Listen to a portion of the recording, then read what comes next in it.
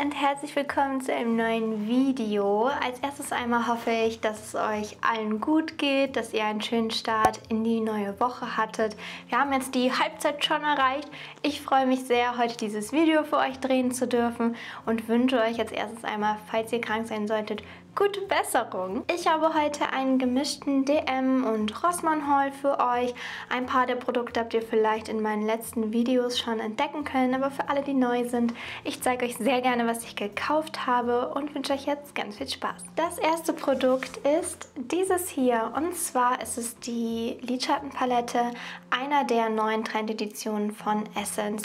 Sie nennt sich Bronze This Way und es hat dieses super süße Leopardendesign hier draußen und fühlt sich auch ganz, ganz samtig an. Das hier sind die Farben in dieser Palette. Ihr seht, es sind matte Farben drin, es sind schimmernde Töne drin und auch ein Glitterton. Ich habe zu der ganzen Limited Edition auch ein eigenes Video gedreht. Das werde ich euch hier oben verlinken und dann könnt ihr sehr gerne dort vorbeischauen nach diesem Video. Falls ihr meinem Vlog-Kanal gar nicht folgt und es auch so hier vielleicht irgendwie verpasst haben solltet, wir sind ja umgezogen und ich habe meine Pinzette geopfert, um hier so die letzten Reste von so einem Band abzuziehen, damit man äh, diese scharfen Malfarbenränder an der Wand hat. Wow, was war das für eine Erklärung? Das Kreppband beim Streichen habe ich mit meiner Pinzette abgezogen und jetzt ist sie ganz stumpf und deswegen musste ich eine neue Pinzette kaufen, damit ich damit wieder meine Augenbrauen zupfen kann und ja, ich habe mich jetzt für diese entschieden. Das ist die von For Your Beauty, also von Rossmann. Das ist die Kombi-Pinzette und was ich an der richtig cool finde, ist, dass die so mega spitz zuläuft und man kann da wirklich jedes Haar mitgreifen. Gefällt mir mega gut. Ich hatte echt schon lange keine Pinzette mehr, die so gut war wie dieser hier. Ich habe sie nämlich schon ausgetestet. Dann haben wir bei DM einfach nur so Bedarfsartikel auch gekauft, unter anderem auch Mundwasser. Jetzt sehr unspektakulär wahrscheinlich für die meisten. Das ist das antibakterielle Mundhygiene Mundspülung, die ohne Alkohol und ohne Ethanol. Und ich brauche einfach immer Mundspülung. Mein Mund fühlt sich erst nach dem Zähneputzen richtig sauber an, wenn ich Mundspülung benutzt habe. Und wie gesagt, falls ihr jetzt meine Umzugsvlogs verfolgt habt, dann habt ihr gesehen, dass wir jetzt eine Badewanne haben. Und damit ist ein so, so großer Wunsch von mir jetzt in Erfüllung gegangen. In unserer letzten Wohnung hatten wir jetzt acht Jahre lang keine Badewanne. Davor in der Wohnung hatten wir eine und jetzt haben wir endlich wieder eine. Und ich kaufe jetzt alle Dusch, Badekugeln und Schäume und Badesalze, die es auf dieser Welt gibt, weil ich sie alle austesten muss, was ich in den letzten Jahren verpasst habe. Unter anderem habe ich mir jetzt dieses hier mitgenommen, das von Balea, also von DM. Badesalz erhol dich. Und Leute, das kann ich momentan wirklich gut gebrauchen. Also das ist ein Motto, dem ich sehr gerne nachkommen möchte. Und ich freue mich, es soll mit dem Duft von Granatapfel und Orange sein. Ich freue mich so sehr drauf. Schreibt mir, oh ja, schreibt mir euer allerliebstes Badeprodukt bitte einmal in die Kommentare. Egal ob Badekugel, Badesalz, Badezusatz, völlig egal welche Marke. Ich habe voll viele Sachen von Lush schon in meinem Urlaub ausprobiert. Schreibt mir alles in die Kommentare. Dann habe ich mir diesen Pinsel gekauft. Auch den konntet ihr schon sehen in dem Video zur Bronze This Way äh, Trendedition. Der gehört nämlich ebenfalls dazu und hat dieses wunderschöne Leo-Muster da drauf. Ach Leute, ich finde ihn so wunderschön. Ist halt in so einer Fächerform und ob der gut ist oder nicht, könnt ihr dann im Video ja euch anschauen. Aber er ist so unglaublich schön. Ich freue mich so darüber. Ich habe ja so ein kleines Pinselproblem. Ich liebe Pinsel einfach so sehr. Dann habe ich einen Concealer geschenkt bekommen und zwar diesen hier. Das ist von äh, Maybelline, der Fit Me Concealer in der Farbe 20. Ich bin gespannt. Ich habe sonst immer den in der 09, glaube ich. Ich weiß nicht, ob der hier zu dunkel sein wird, aber wie gesagt, er ist ein Geschenk, aber ich liebe die Formulierung von diesem Concealer. Ich habe ja trockene Haut und ich finde immer, der lässt sich so schön ausblenden und es ist so richtig feuchtigkeitsspendend auch und nicht so trocken. Es legt sich nicht in die Fältchen. Also den kann ich euch auf jeden Fall empfehlen. Und es gibt auch wirklich eine sehr, sehr schöne Farbauswahl, wie ich finde. Kommen wir als nächstes zu einem Produkt, was ich sogar heute schon trage, einfach damit ich es euch zeigen kann. Und zwar einer von den Liquid Lipsticks, den neuen von Catrice. Ich bin tatsächlich ja mittlerweile wieder ein bisschen mehr zu Lippenstiften zurückgekehrt, also die auch richtig in der Stiftform sind und trage eher weniger Liquid Lipsticks, weil ich das immer nicht so mag, wenn meine Lippen dann sich so trocken anfühlen. Und ich muss sagen, ja, auch der macht die Lippen ein bisschen trocken. Ist logisch, es trocknet komplett durch. Das ist übrigens einer von den MAD Pro Ink Non-Transfer Liquid Lipsticks. Die sollen bis zu 12 Stunden halten und ich habe die Farbe 010 Trust in Me. Und auch wenn es die Lippenfältchen ein bisschen betont und auch wenn es ein bisschen trocken ist, ist es auf jeden Fall nicht so, dass ich den die ganze Zeit spüre. Also er ist super leicht auf den Lippen. Und kommen wir zu einem Produkt aus einer anderen Trendedition von Essence und zwar der High Beauty Trendedition. Auch zu diesen ganzen Produkten habe ich ein eigenes Video gemacht. Das werde ich euch ebenfalls hier oben verlinken. Ihr könnt sehr gerne nach dem Video auch da vorbeischauen. Ich verlinke es auch immer alles am Ende, dann geht nichts verloren. Ihr könnt da immer noch hinfinden. Und ich habe mir dieses Produkt hier mitgenommen. Das ist der Under Eye Brightening Concealer in der Farbe 01 Rosé Beige. Und ja, den habe ich mit euch getestet. Ich habe ihn seitdem sehr, sehr häufig benutzt. Ich finde ihn klasse. Spoiler-Alarm. Ja, wirklich. Also, falls ihr da noch rankommt, ich denke mal schon, holt ihn euch. Dann hat mein Mann sich noch etwas mitgenommen und ich finde das richtig cool, dass er über sowas nachdenkt und immer sehr gepflegt sein möchte und so. Und das finde ich echt toll.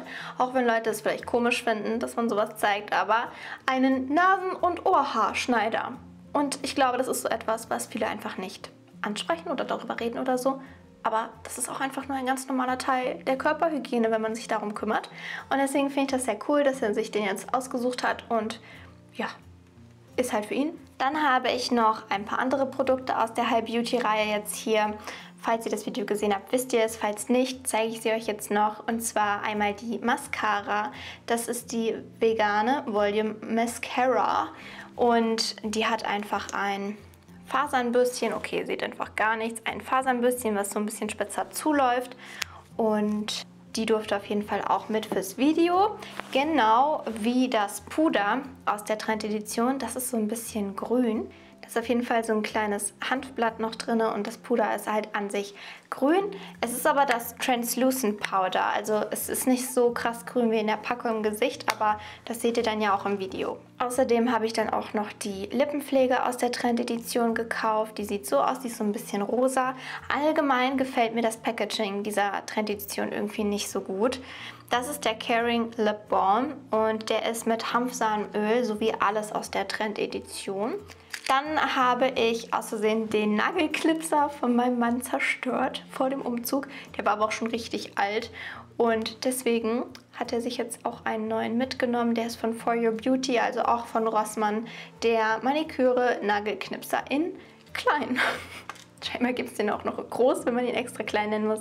Ja, Einmal das auf jeden Fall noch. Dann bin ich richtig verunsichert gewesen, ob ich euch das schon in meinem letzten Haul gezeigt habe. Also ob ich das schon letzten Monat vor dem Haul gekauft habe oder erst danach. Ich habe gar kein Zeitgefühl mehr. Auf jeden Fall habe ich ja dieses weiße Häschen von Evolution gekauft, von der Osteraktion dieses Jahr. Und das sieht von innen so aus.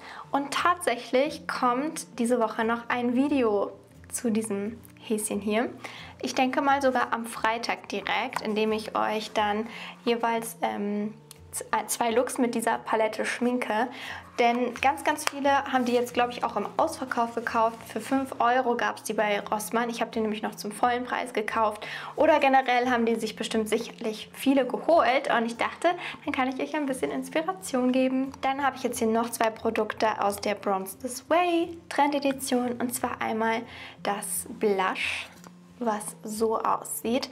Das ist das Baked Bronzy Blush und das sieht so, so schön aus. Es ist ein bisschen dunkel für mich, aber für so einen richtigen glowy, bronzy Look finde ich das auf jeden Fall richtig, richtig schön.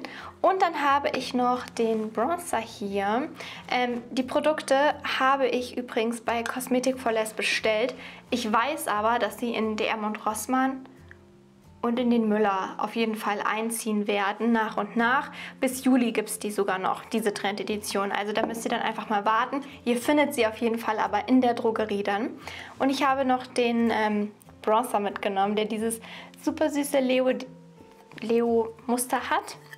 Das ist der Bronze This Way Matte Bronzer in der Variante Darker Skin, weil ich fand, dass der kühler aussieht als der für Lighter Skin, was ich super verwirrend finde. Habe den für Lighter Skin aber ja noch nicht in vor mir im Laden gesehen. Deswegen werde ich das auf jeden Fall mal abchecken, wenn ich die dann irgendwann in den nächsten Wochen hier bei mir finden werde. Und da ich momentan ganz schöne Farbprobleme hatte, wenn ich wirklich mal Lust hatte, Foundation zu tragen, weil die meisten mir einfach viel zu dunkel sind im Moment. Ich hatte dann noch zwar ein paar, die heller sind, aber da konnte ich die Formulierung dann momentan nicht so gut vertragen, weil die dann einfach zu trocken auf meiner Haut aussah.